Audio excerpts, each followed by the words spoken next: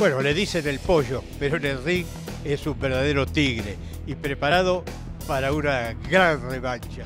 Hola, ¿qué tal? Pues ya estamos más que listos, preparados para esta gran revancha no se la pueden perder porque va a ser otra guerra.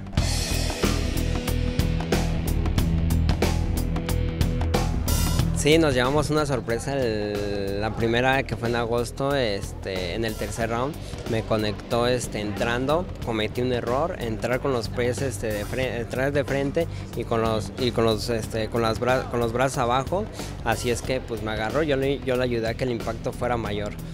Y esta vez pues en eso nos enfocamos, en golpear con inteligencia, en estar todo el tiempo buzo con las manos arriba sin un descuido alguno porque sabemos del potencial de Hugo Ruiz y sabemos de su buen boxeo. Hicimos esos cambios en esta preparación y nos, nos, este, preparamos ah, mentalmente al 100 primero que nada, mi meta a corto plazo es pasar la aduana este sábado eh, con las manos en alto, obviamente, y pues primero Dios bajar, que bajemos los dos con bien, este, con bien, y después de esta, después de esta pelea saliendo bien, primeramente Dios, queremos ya peleadores de talla, queremos peleadores que ya nos den más nombre, que nos den más prestigio.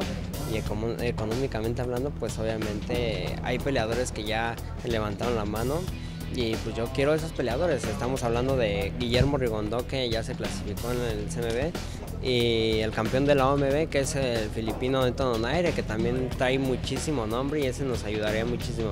Estamos en espera de todo eso y pues obviamente pasando la aduana el sábado vienen cosas mucho mejores.